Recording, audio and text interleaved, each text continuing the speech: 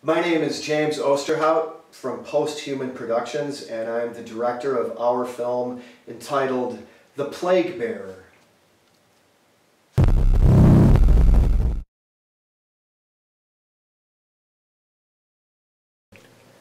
I just feel really hot.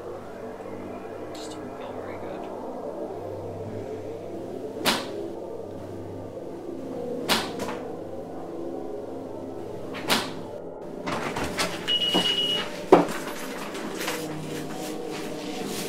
Baby?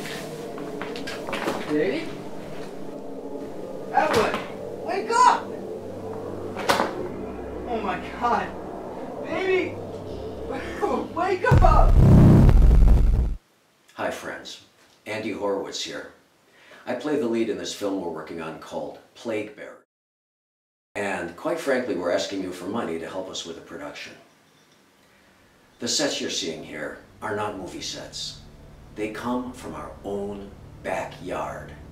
We all live together here in this upstate town of Johnson City, New York, which has been hit by decade after decade of economic deprivation.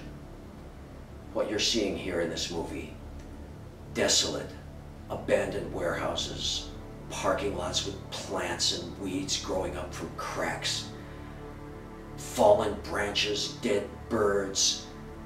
It's all our reality here. This isn't made up.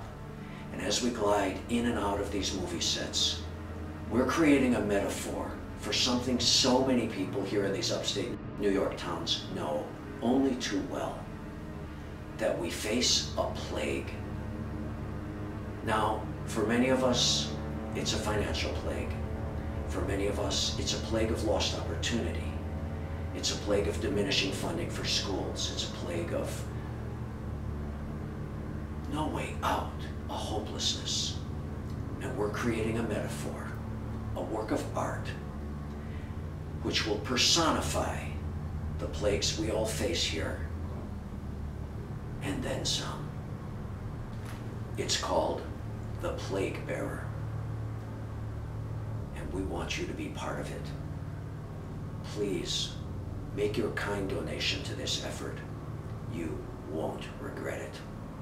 We will show you something that will knock your socks off. Thank you.